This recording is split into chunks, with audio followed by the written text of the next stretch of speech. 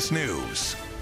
Hi, everyone, and thanks for joining us for Eyewitness News at 11. I'm Erin Connolly. And I'm Stephanie Simon. We start with breaking news in Simsbury right now. Officials there investigating a plane crash. We get right out to Channel 3 Eyewitness News reporter Erin Edwards with the latest tonight. Erin.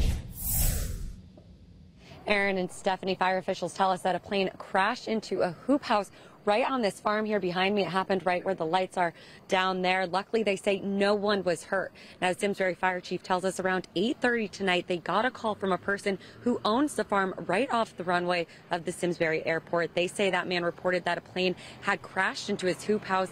Fire officials say when they got to the scene, though, they could not find a pilot. They say no one was even around the plane. Now, here's what the chief had to say.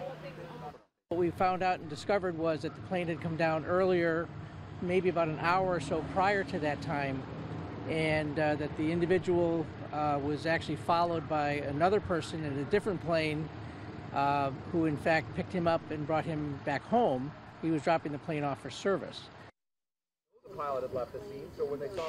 Now, the uh, pilot and owner of the plane have been found, and the pilot, again, was not injured, and the FAA is now investigating. We're live in Simsbury. Erin Edwards, Channel 3 Eyewitness News. Erin,